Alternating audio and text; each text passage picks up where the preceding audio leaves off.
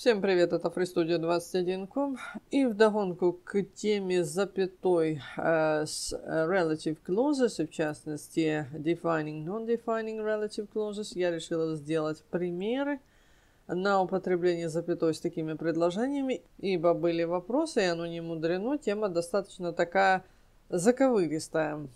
Итак, это упражнение из Roundup Grammar 6, New Edition – и первое упражнение нам надо дополнить предложение, ну и, естественно, поставить запятую там, где мы считаем это нужным.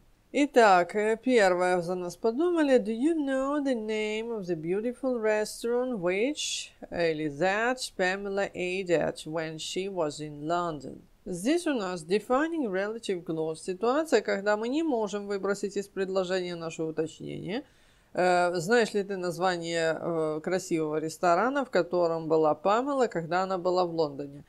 Э, то есть, если мы выбросим, в котором была Памела, у нас не получится предложение, у нас будет какая-то ерунда, и поэтому запятых здесь мы не ставим. То есть, вот эти вот места останутся у нас свободными, здесь ничего не будет стоять, только потому что это defining relative clause, и это тот случай, когда, как говорится, из песни слова не выкинешь. В таких случаях запятая не ставится. А далее второе. The tiny village э, чего-то там is beside the sea. Э, крошечная деревенька возле моря. Э, в принципе, прекрасное предложение. Оно может существовать без всяких вставок, и поэтому это, скорее всего, non-defining relative clause – и поэтому здесь мы будем иметь запятые, поскольку если мы чего-нибудь поставим после village, это будет абсолютно вводной элемент, без которого предложение существует. Итак, что мы здесь поставим? Alan Works нам не подходит, Pamela у нас уже было. Uh, you recommend Frank lives in a tiny village. Фрэнк живет в крошечной деревне, почему бы и нет? Да, пожалуй, скорее всего это Фрэнк. И здесь запятая. Дальше ставим where. Frank lives. И вторая запятая. Вот у нас одна, вот у нас вторая. Почему? У нас в одной элемент.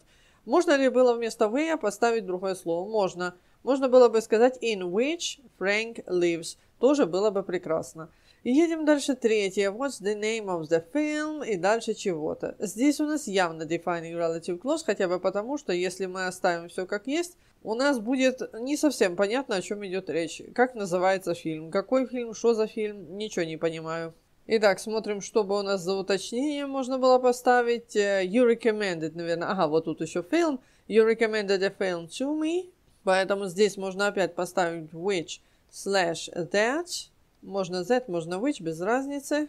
И далее you recommended to me. Обращаем внимание, что слово film мы не ставим. Почему? Потому что вот оно у нас уже стоит. И никаких запятых. Почему? Потому что у нас defining relative clause. То есть то же самое, что в первом.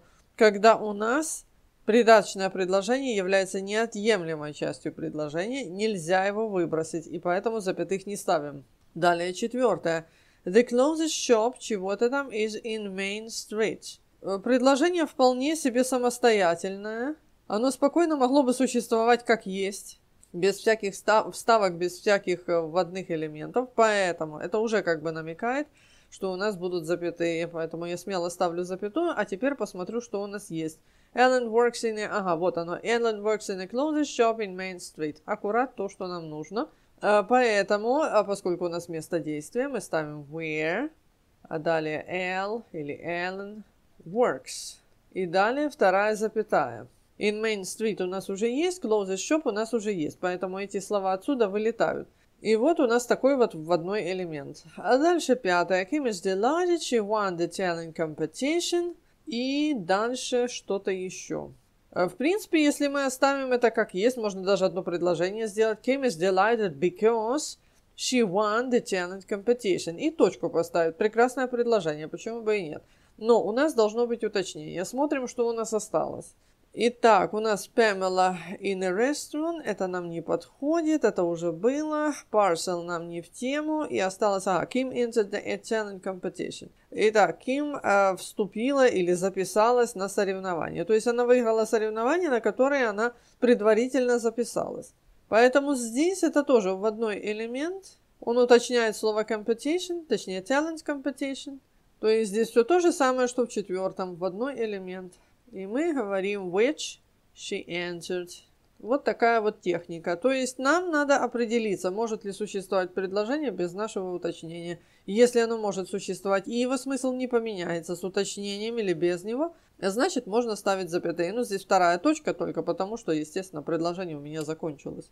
Далее шестое. The address чего-то там is wrong адрес неправильный. Ну, как сказать, ну, в принципе, такое предложение, конечно, может быть, но ну, какое-то такое непонятное. Ну, о чем идет речь? Непонятно, о чем идет речь, нужен какой-то контекст. И вот если у меня ситуация, когда мне нужный контекст, нужно уточнение в предложении, это верный признак того, что если я поставлю в одно предложение, запятые мне будут не нужны, потому что иначе предложение теряет смысл. Итак, у меня осталось всего ничего, только одна Kim у меня уже использована, и осталось you send the parcel to the wrong address. Поэтому the address и далее where you send the parcel, адрес, на который ты отослала посылку, is wrong. И как бы нам не хотелось здесь поставить запятые, здесь они не нужны. Вот такое вот упражнение. Вроде бы все просто и легко. Здесь важно очень внимательно читать предложение. Здесь важен, скажем так, аналитический момент. То есть важно подумать, остановиться и просто подумать. Что меняется, если я поставлю уточнение? Если в принципе смысл никак не меняется, значит я могу ставить запятые. Если смысл будет меняться, тогда другое дело, запятые мне не нужны. Далее еще любопытное упражнение 44. Ибо, по сути, э, здесь уже даже запятые за нас подумали, поставили, но здесь надо объяснить значение предложений. Возьмем первое, и сейчас мы увидим. Это именно тот щекотливый момент, о котором обычно не любят говорить, и я сама не люблю это объяснять, потому что, ну уж больно это как-то так странно все. Э, ну, э, судите сами. The boys in my class who enjoyed the film saw it again. Мальчики в моем классе, которым понравился фильм, посмотрели его снова. И второе предложение. The boys in my class, comma, who enjoyed the film, comma, saw it again. Мальчики в моем классе, которым понравился фильм, посмотрели его снова. Какая разница? Да никакой разницы вроде бы нет. Но в первом случае запятых нет, а во втором случае они есть. И здесь за нас подумали и объяснили нам ситуацию. В первом предложении речь идет о ситуации, когда у нас только некоторые мальчики, only some boys in my class, то есть избранные, скажем так, посмотрели фильм. Только те, которым он понравился. Все остальные не смотрели. А во втором случае все мальчики в классе, all the boys, посмотрели фильм – Просто у нас уточнение, что мальчикам он понравился. Кроме того, что они его посмотрели, он им еще понравился. Вот такая вот дополнительная информация, не более того. То есть это, в принципе, перекликается с предыдущим упражнением, где мы видели, что если у нас стоит дополнительная информация какая-то, которая как бы не очень сильно влияет на наш смысл, значит, мы можем ставить запятые. Вот это вот и есть продолжение. Теперь посмотрим, что у нас дальше. The drivers who were involved in the accident had to go to the court водители, которые стали участниками или были участниками аварии или ДТП, э, должны были явиться в суд. Водители, дальше у нас, по идее, должна быть запятая, но ее нет. Вторая запятая, по идее, должна быть здесь. Вот это вот вводное, это defining relative clause. И это нам показывает на тот, что только участники ДТП, то есть не все водители, которые там присутствовали, а только участники ДТП должны были явиться в суд. Далее во втором, the drivers, запятая, who were involved in the accident, запятая, had to go to the court, должны были явиться в суд. Здесь у нас получается, что все водители должны были прийти в суд, но кроме этого они были еще участниками аварии. Но то, что они были участниками аварии, это второстепенный факт, скажем так. Тут самое главное, речь идет вообще о водителях. То есть, если в первом случае у нас, э, скажем так, в одной элемент у нас определяет, по сути, всю, э, всю мысль в предложении, но во втором случае он несет абсолютно второстепенную функцию, ну, просто немножко уточняет чего-то, ну, не более того. Выбросили бы, и таки ничего страшного бы не случилось.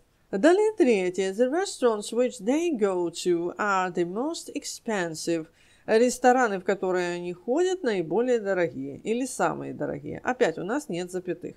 По идее, они должны были быть вот здесь. и which they go to – это вводной элемент. Но вот это как раз и определяет всю суть предложения. Весь изюм находится именно вот здесь. То есть, иными словами, они ходят только в дорогие рестораны.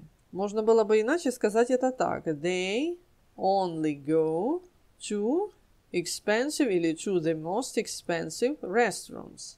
Или to the most expensive restaurants only. То есть вот это only, в принципе, могло стоять и в конце фразы тоже. То есть здесь мы подчеркиваем исключительность. Ну, не знаю, может, они просто снобы, а может быть, они богатые люди.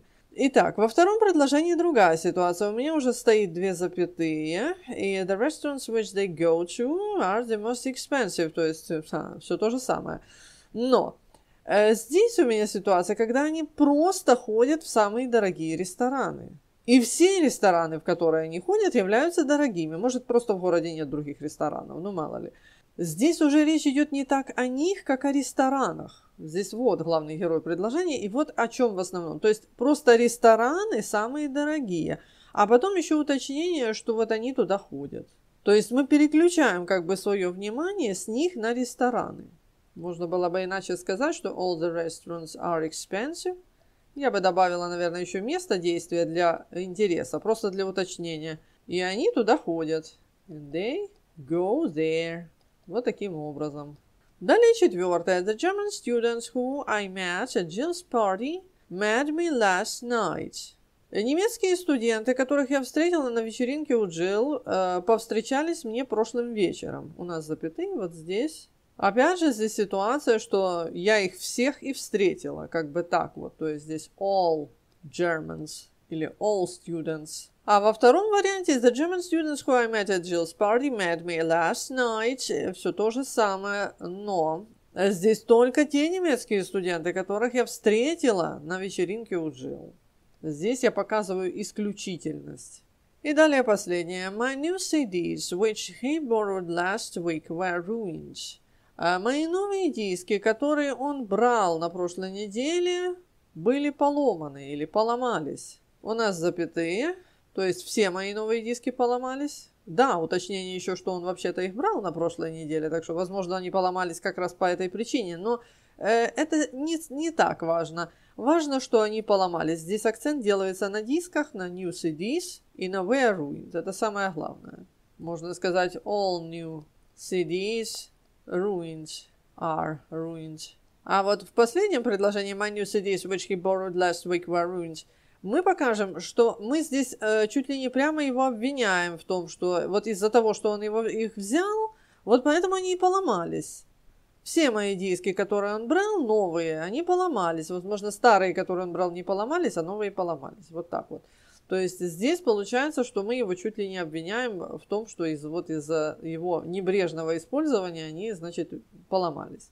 Вот такая вот, э, если угодно, игра в наперсток. Э, с одной стороны, не покидает ощущение, что ну, это какой-то обман зрения. Ну, то есть э, ну, поставили запятые одно дело, не поставили запятые другое дело. Но суть тут в чем? Что, в принципе, мы выражаем как бы, да, одно и то же, но при этом мы немножко смещаем акценты. Запятая позволяет нам смещать акценты в предложении. Да, месседж у нас по сути один и тот же, но мы смещаем акценты. И если у нас запятая, мы как бы обобщаем. И речь будет идти в основном о том, что спереди предложение стоит. То есть у нас правит бал наше подлежащее. Оно самое главное. О нем речь, на него надо обращать внимание. Все, что там уточняется в запятых, да, это, конечно, интересно, но это не суть важно. А в случае, когда мы не ставим запятые, у нас получается важно уже не только подлежащее, но также, что его уточняет. Более того, что уточняет, может быть даже, ну если угодно, даже главнее моего подлежащего. В этом-то вся суть. Поэтому, если я хочу что-то выделить, мне нужно не ставить запятые. Здесь просто задача от обратного получается. Это немножко непривычно и необычно. Мы привыкли, что мы выделяем нечто запятыми, а здесь, получается, мы не выделяем. И при этом э, для того, чтобы не выделять, нам приходится ставить запятую. Вот такая вот задача. Но именно поэтому вот эти defining и non-defining relative clauses, о них не любят говорить в плане использования запятой, потому что иначе можно запутаться. Но здесь еще нужно понимать одну вещь, что этот случай, это частный случай. Э, если мы посмотрим на предыдущее упражнение, у нас такого не было нигде. То есть у нас все лежало на поверхности, никаких проблем. Здесь в чем еще э, прикол? Э, в том, что эти предложения уточняют подлежащие. И вот по сути это классификация, они классифицируют его. То есть при этом никакой попало предмет, а именно подлежащее. Это очень важно. Вот такая вот иллюстрация. Надеюсь, кому-то это было helpful, как говорится. Э, скриншот всего этого будет по ссылке в описании видео. Напоминаю, что это и упражнение из учебника Roundup Grammar 6, он красного цвета, New Edition. Ссылка на теорию по теме в описании видео. Спасибо за внимание. Подписывайтесь на мой канал.